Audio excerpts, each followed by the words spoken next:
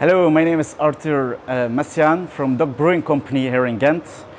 Uh, we are a brewery. We are now open for 11 months. Next month we are one year open. We're gonna have a big party for our anniversary, of course.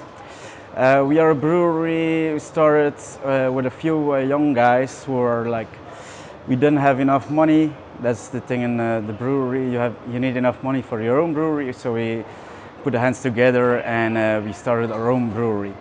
Uh, the idea of the brewing company is that we always make uh, a new beer. So we only brew uh, one beer at the same time. So we brew a beer of 1000 liters and then uh, when it's finished, it's gone. Then we do another beer.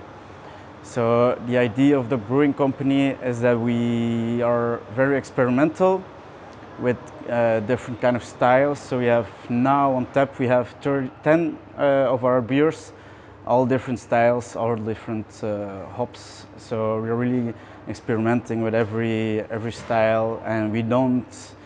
We are trying to have no limits. We go all the way uh, without it. Yeah. And what does innovation in uh, craft means to you? Innovation for us is a really um, uh, how should I, we, we really try to to have no limits. That's innovation for us. So if, uh, if somebody says, I want to brew that, or we're going to do that with this, and there, there are no limits. So the, the installation also is made uh, uh, by hand, on, uh, so we don't have any limits for us. Uh, innovation for us, we are brewing with a lot of experimental hops.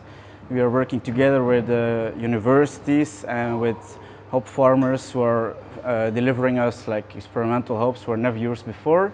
So they don't have a name like uh, Hallertauer or uh, they only have numbers. So like XZ37. Uh, so they're really experimental. Uh, so you can get really nice flavors of it. And like we're also testing a lot with nitro here, nitrogen. We uh, our last IPA with us a Nitro Mitu that we have used uh, with nitro. It's really experimental because uh, instead of CO2, CO2 we infused it with nitrogen.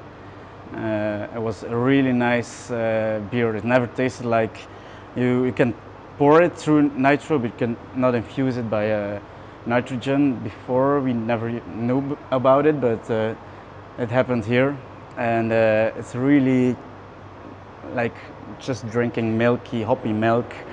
Uh, with a, it was with an experimental hop as well. I had like grapefruit and coconut in it. It was really, uh, and um, yeah, really, really nice. And, uh, any crazy plans for the future, uh, beer-wise or with the venue? With the venue, yeah, we uh, we're gonna have like uh, a big festival here, the 5th and the 6th July here in Ghent. Uh, there's the Dok Brewing Festival. It's our first really big festival. Uh, we're gonna have 30 breweries from around the world. Uh, it's gonna be a really nice lineup, uh, and we're gonna brew uh, some special beers for there as well. Uh,